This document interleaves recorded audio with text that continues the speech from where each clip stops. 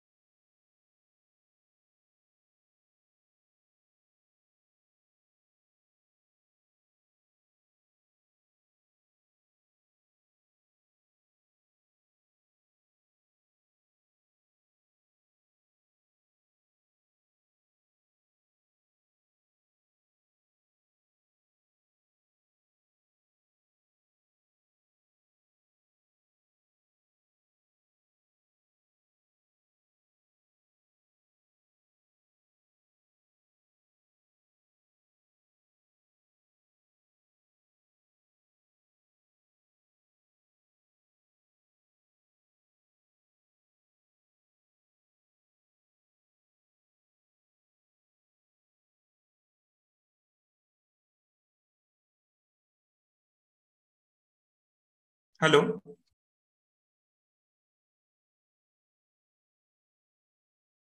Hi.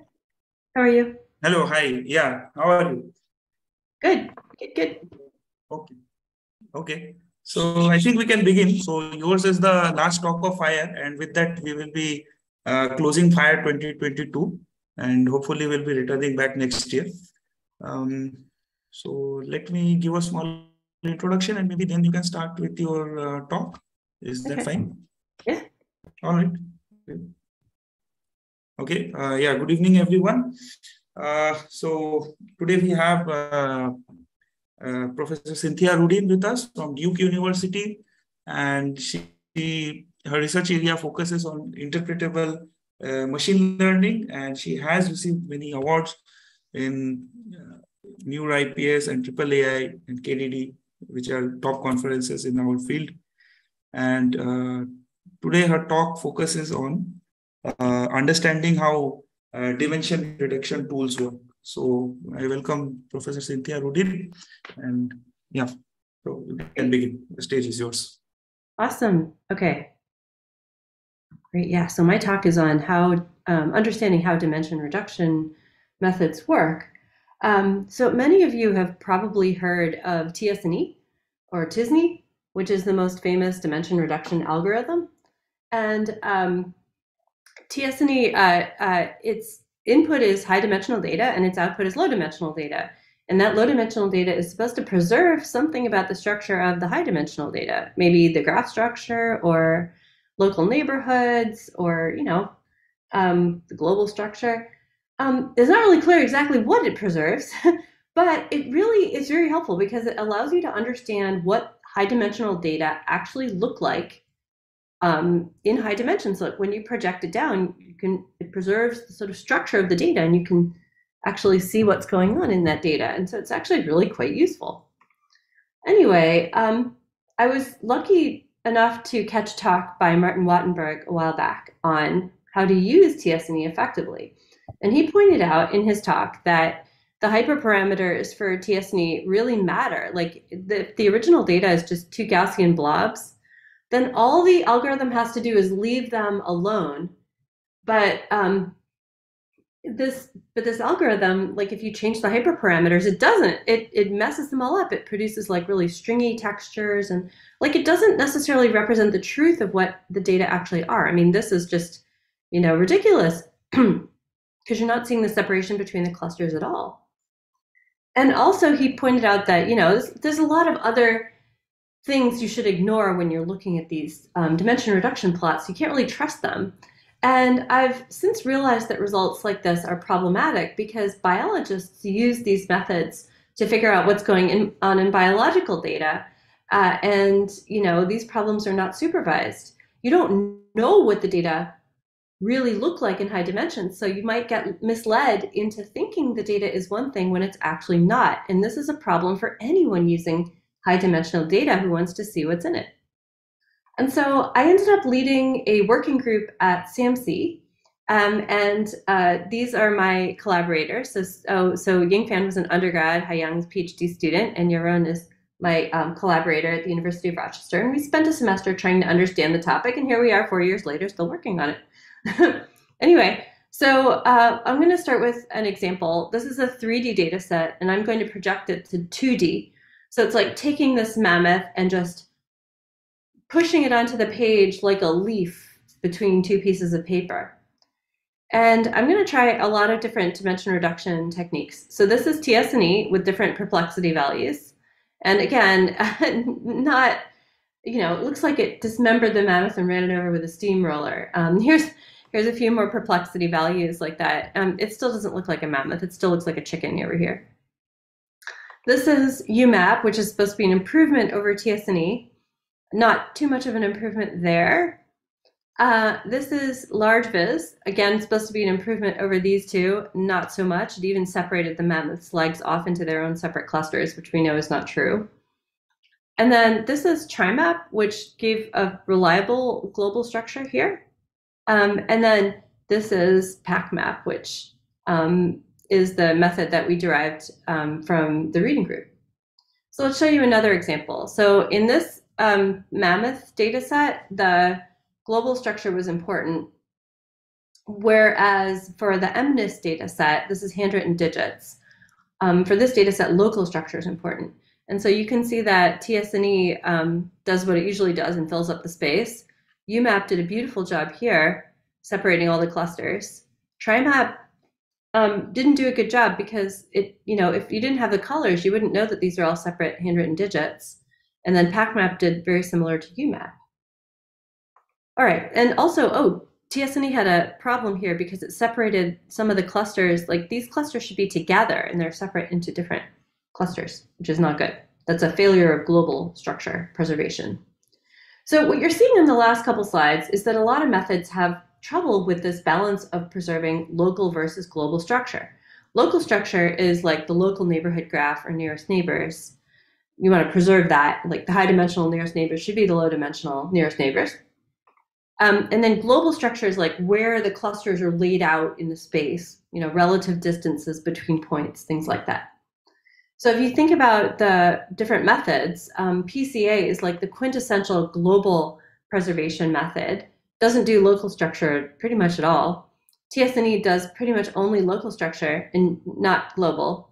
UMAP, believe it or not, also is mostly local. Um, it gets its uh, it gets its global structure from PCA initialization, and then PacMap is actually does does both both local and global structure.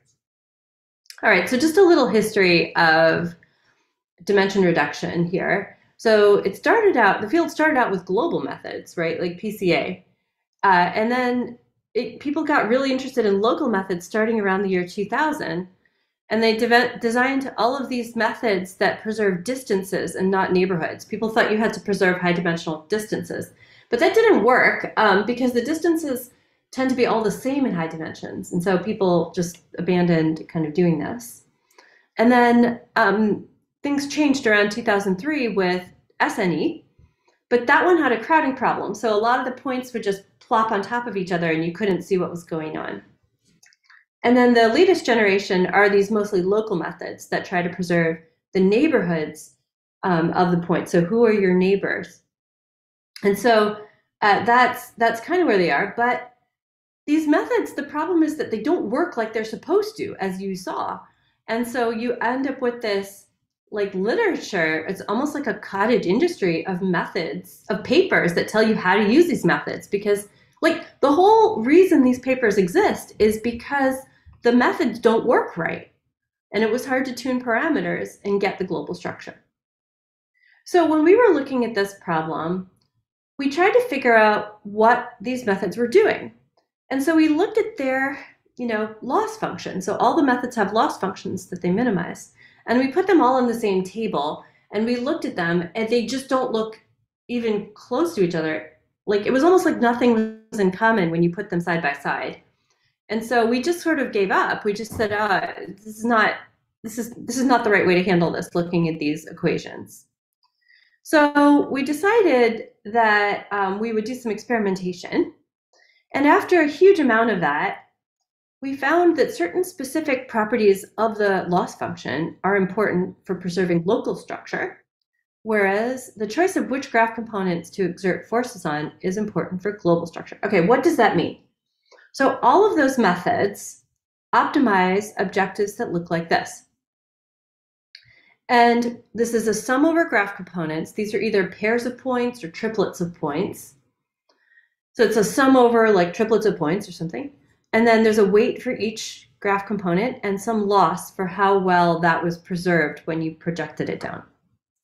And what we found was that if you want to preserve local structure, the properties of this loss function are really important. Whereas if you want to preserve global structure, the choice of who ends up in this sum, what you're summing over, that actually controls global structure. So you can control them both if you want to. All right, and that's that's what we did with PacMap. So um, I want to spend a little while first talking about local structure. So what, like as I mentioned, there's not really anything clearly in common with all of these loss functions, right? Trying to find something in common with all of them is not fun.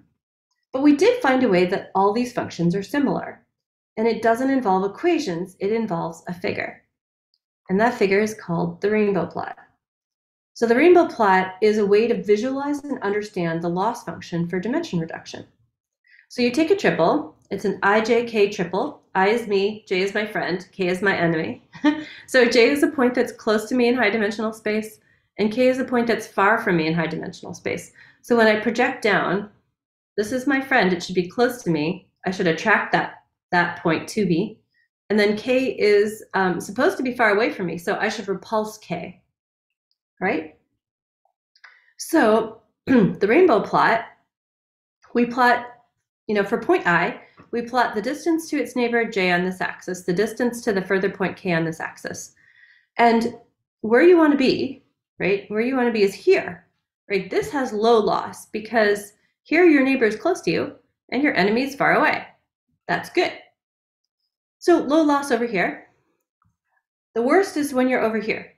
So this is when your enemy is close to you and your friend is really far away. Okay, your neighbor in the high dimensional space is far away and the point that's supposed to be far away is actually close by. So this is the loss function's bad. Okay, so the question is, so those two are obvious. What happens to the rest of the plot? so what about over here? So over here, your enemy and your friend are both cl both close to you. So how, how comfortable do you feel? And the answer is you feel uncomfortable. okay, if you're doing dimension reduction, you feel uncomfortable. Your enemy should always be far away. And then if you're over here, where your friend and your enemy are both far away, that turns out to be not so bad.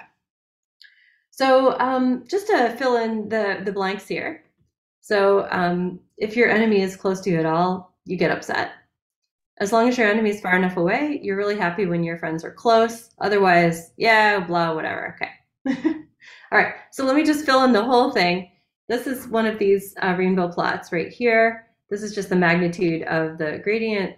And what you're seeing here um, is, you know, this is what the loss function looks like for, um, for um, and I don't even know which algorithm it is because frankly, three out of three out of four of them look the same.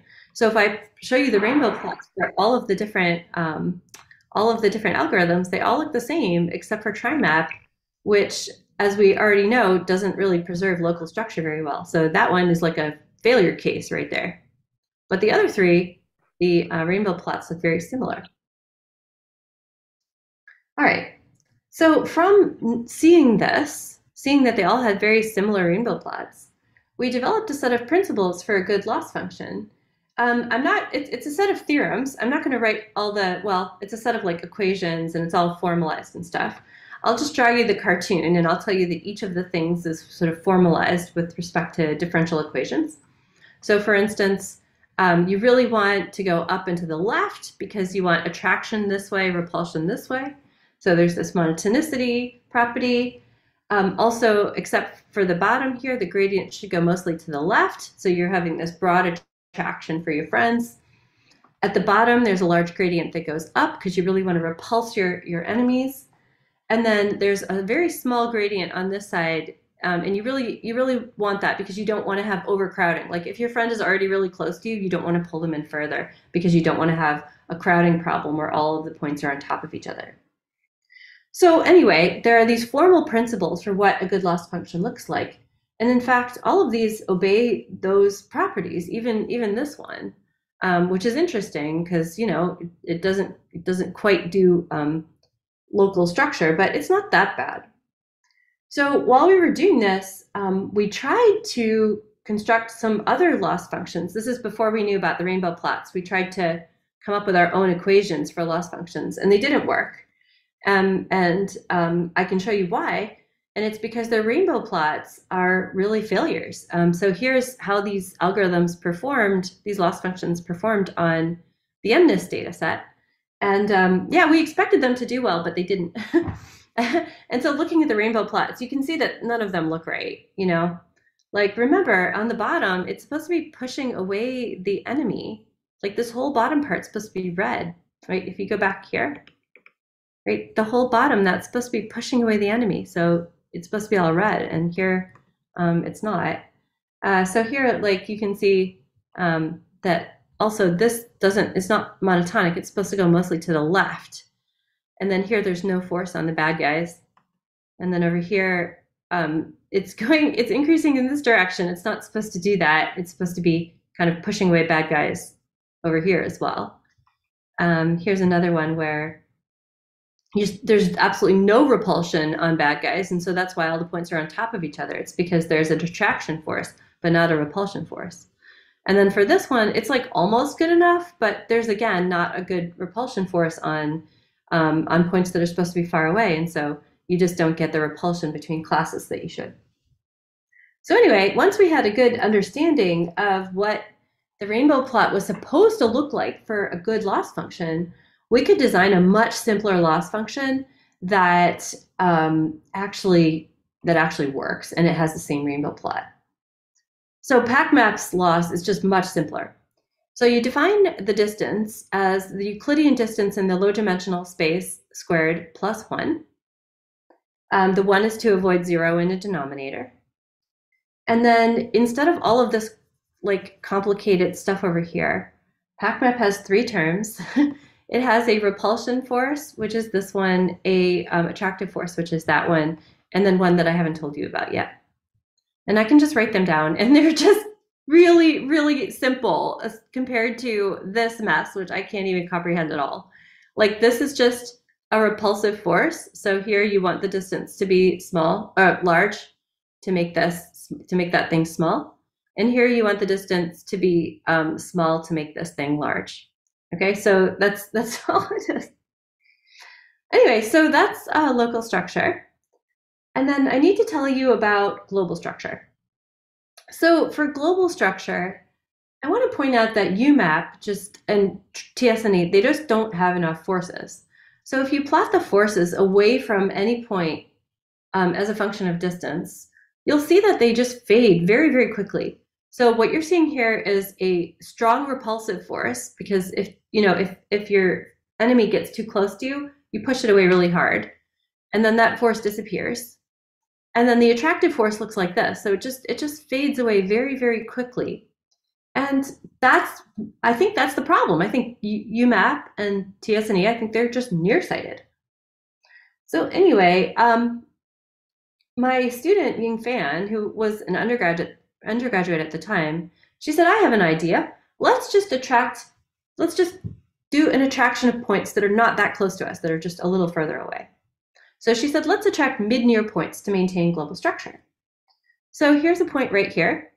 And what she suggests is to attract points that are just, that are not that close. They're a little further away. So they're, they're mid-near points.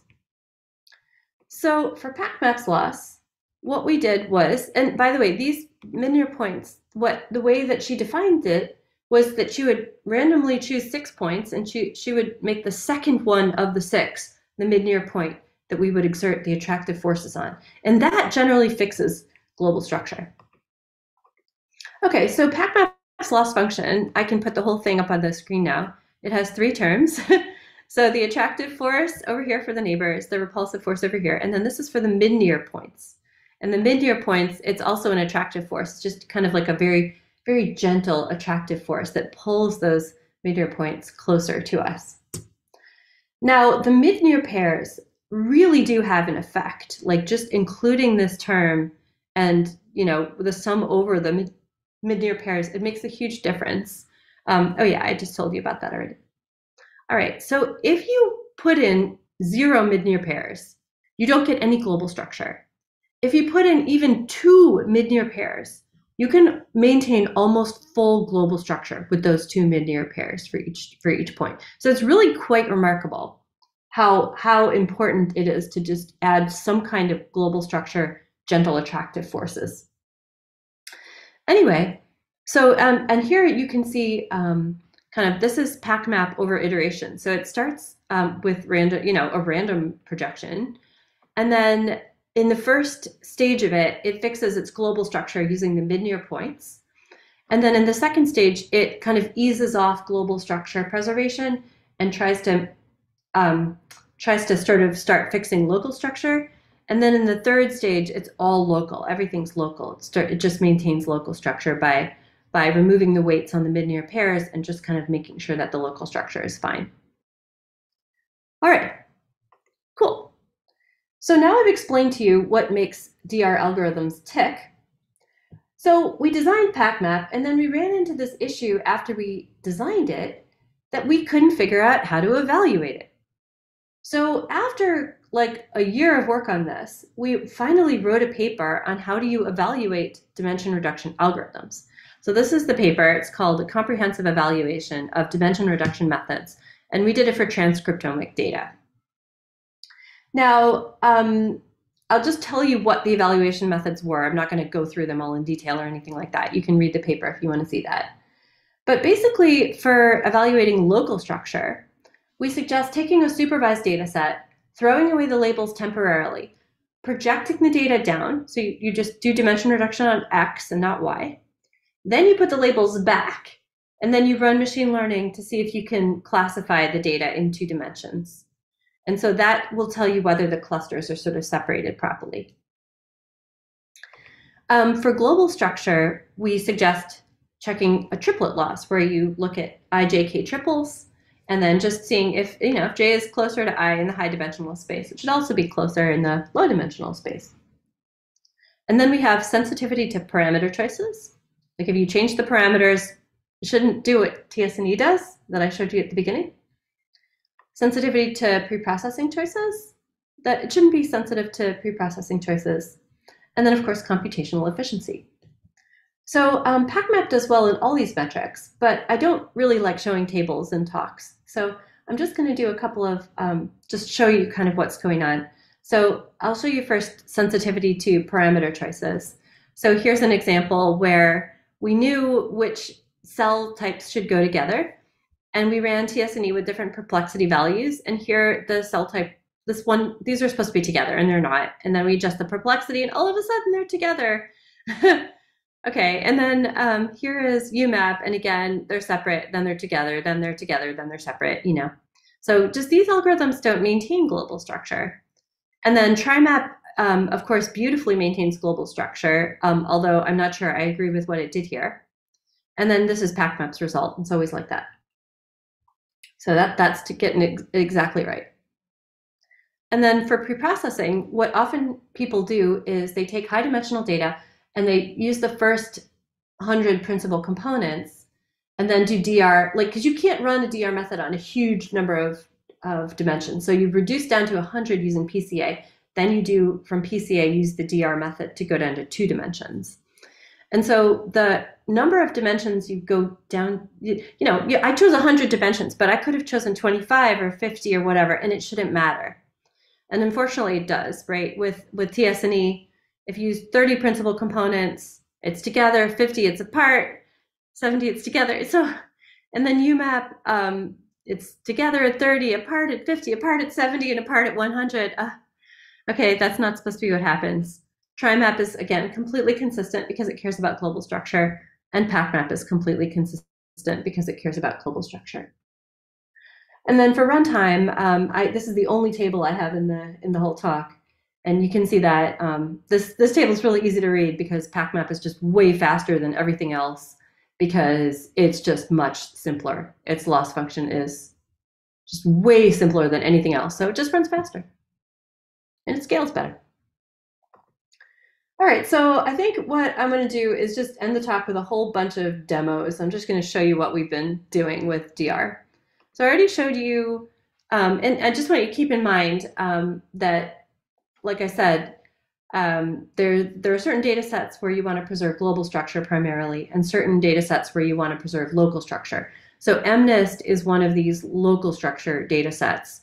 And so here you're seeing great results from UMAP and um, and and maybe TSNE. I don't know. It's still separated out this you know cluster that I don't like, but um, you're not seeing great results from TriMap here. And PacMap does as well as UMAP, which is you know the best one for local structure. And then for data sets like the Mammoth, where we care about global structure, PacMap performs as well as the best global structure algorithm, which is TriMap. Okay, and the rest of them don't handle global structure very well. So here's a bunch of more data sets. This is the COIL 20 data sets. Here's an example where TSNE opened up all the coils, which is quite unfortunate. Um, this is COIL 100. Uh, actually, I think I think TSNE did a nice job here, believe it or not. Um, here, all the coils are separated nicely. So this, this is actually very nice over there. Um, this is the MNIST data set again. This is fashion MNIST, which instead of handwritten digits, it's like sandals and purses and shirts and stuff like that. And so here um, you can see that PacMap and UMAP performed very, very similarly on this data set, and the other ones um, not so much. So these two very similar. Okay, here is post office data set, another handwritten digit data set. 20 news groups, nobody did particularly well on this data set. And I think it's because you just can't separate out the news groups. I think the news groups are highly overlapping. This is S-curve with a hole, which got mangled by TSNE, UMAP, and LargeVis. And here the global structure methods get it right every time. Now, this one is the one I'm worried about. So when you look at you know, these kind of like RNA-seq data sets, if you use a method like TSNE or UMAP, you end up seeing a lot of local clusters that frankly shouldn't shouldn't be there. They're just an artifact of the DR method. And what I get worried about is that biologists actually will look at these plots and go, oh, it's a cluster. I need to go investigate that. I need to figure out why that cluster is there. Is that something biological? And the answer is it's not biological. It's just an artifact of the DR method. These methods don't have that problem. Um, here is a beautiful picture created by um, one of my, uh, um, so Carla, who's visiting my lab. This is um, PB, this is a blood data set colored three different ways by PacMap. This is the same data set on UMAP. And then um, you can see PacMap did a much better job here on this data set. And then this um, data set, this, this problem was really helpful. This is a name ethnicity classification, which is helpful for assessing fairness because you're trying to guess people's ethnicity from their name. So you could kind of determine whether, even if you don't have race information, you can determine whether or not the, you know, the loan decisions are being are fair to different ethnic groups. And here we've projected the space of names down to two dimensions. And you can see here, like these are white names, these are black names, these are Asian names, and these are Hispanic names. And this is based on voter registration data. And so it's, it's kind of pretty cool to see the space of names like this and the overlap of the black names with the white names. And it's partly because the um, the slaves um, the slaves took the names of their of their owners, and so you get a lot of this kind of overlap in names. And then the last one I'll present is on EEG monitoring. Oh, it's not the last one; it's the second last one. Um, I'll present on EEG monitoring. Um, so I've been um, working with a critical care neurologist for many years, and they have different kinds of brain signals that they're reading off of EEG monitors, and they've um, put them they, they we've been designing an interpretable neural network, and this is showing the latent space of the interpretable neural network with respect to all the different classes of seizure-like activity. And so the doctors have been having a lot of fun um, making little movies that go between like this is one kind of seizure-like activity, and then this is another kind, and this is another kind. And you can walk kind of between these legs of this like sea creature to see the different types of EEG activity. Um, so it's like an educational tool for neurologists. And then finally, um, the data set from the Explainable Machine Learning Challenge, which is a loan decision data set, um, my students named the PacMap method. Um, you know, they they named it. Uh, you know, it's like it's got an actual name like principal approximate manifold something. You know, something like that. And I thought, you know, when they named PacMap, I thought, okay, you know, it's it's kind of a silly name. It sounds like Pac-Man, which is a cartoon character. Like, I don't know if I like it, but the students named it, so let's just go with the flow there. So then I emailed um, Ying Fan a while back, and I said to her, could, could you just, you know, do a PacMap plot for the FICO data set? You know, just just just do a plot for this data set. And she said, okay. And she sent me this picture back that I couldn't believe. I couldn't believe it. So she sent me this picture, and I was like, really? Like that, really? Like PacMap is making Pac-Man on this data set? really? Like I swear it's never done this before. It's just so bizarre. Um, and there is a technical explanation for it. Like, you know, it's this little chunk has missing data and this chunk it has a high value of this important feature and this, you know, these other, eh, you know, we could, we could explain it, but there's just, you know, it's mimicking what we see in our supervised models. But I find, you know, I find this this kind of um, explanatory data analysis useful because it tells you something about like the cluster structures in the data. But it's really hard to take this result seriously. anyway, just to summarize, um, I talked to you about what makes the DR algorithm succeed or fail, which is local structure. Got to have a good loss function. Got to have a good rainbow plot that obeys the principles. Uh, the rainbow plot allows you to compare across algorithms. It should look like that. For global structure, we suggest forces on non-neighbors, and particularly mid-near pairs, which fixes global structure. We presented a method called PacMap. It's a simpler loss function involving only three terms, um, an attractive force for friends, a repulsive force for enemies, and a gentle attractive force for the mid-near pairs. It's very, very simple. It preserves local and global structure, and it runs very quickly. It scales to scales better than other methods. And um, yeah, so it, it hopefully it'll give you some information you can glean about what's actually in your data set, so you can be a responsible decision maker. All right, thanks very much.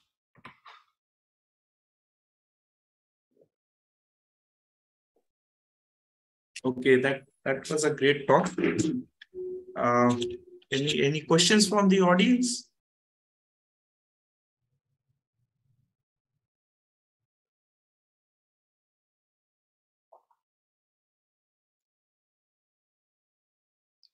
Okay. Okay, there, there is a question. You can unmute yourself and just uh, mention the question.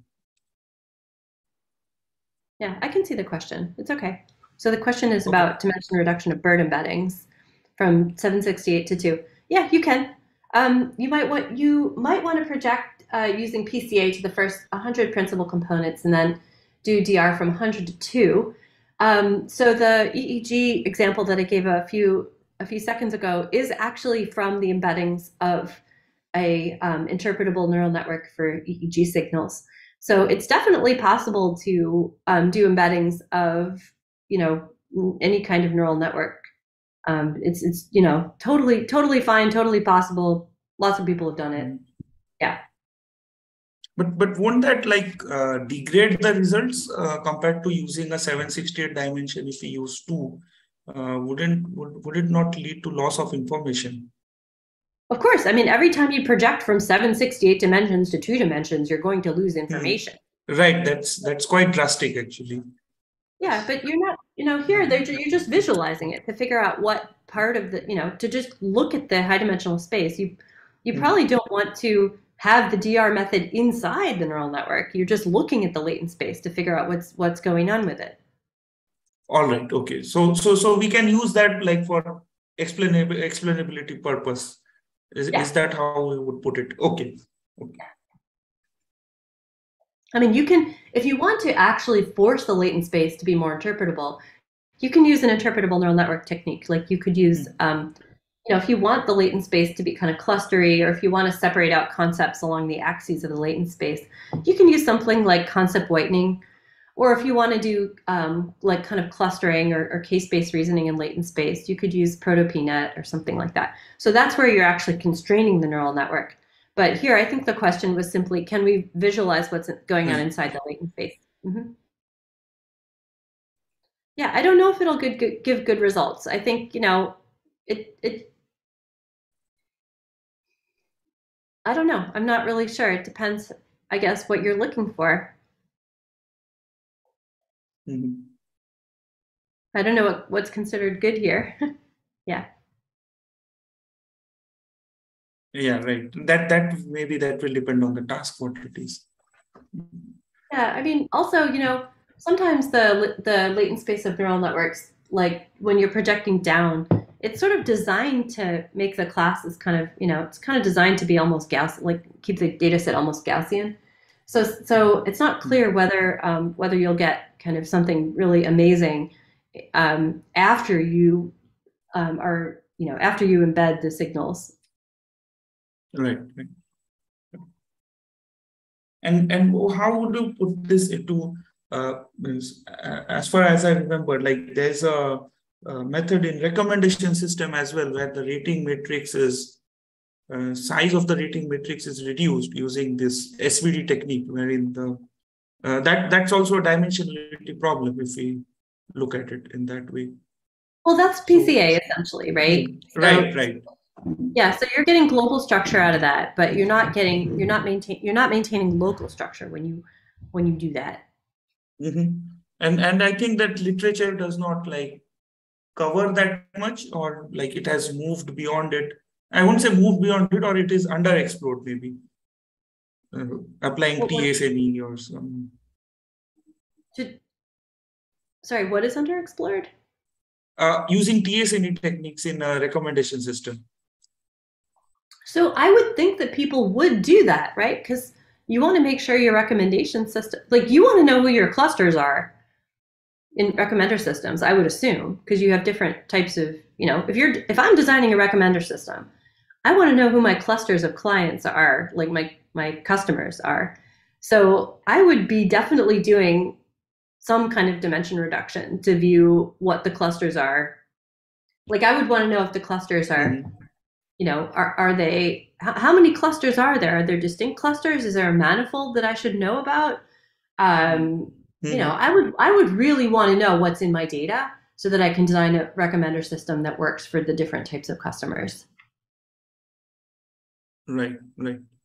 And, and maybe we don't get a Pac-Man shaped uh, cluster as yeah. had shown in the earlier.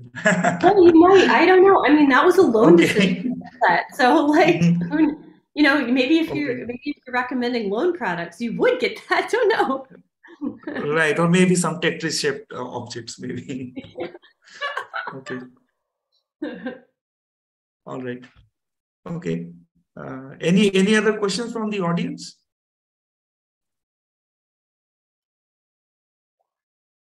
Well, I, I think not. It seems. All right. Okay. I, I think uh, that's that's all for now. Okay. All right. Okay. Thank you. Thank you so much. Thank you so much for uh, making time for uh, from your busy schedule for us and being part of Fire. Uh, we really appreciate it. All right. Bye. Yeah. Bye. Thank you. Okay. So that that brings an end to Fire 2022, and hopefully we'll meet next year in Fire 2023. Thank you very much for being part of it. Thank you, Shurbendu. Thank you. Thank you.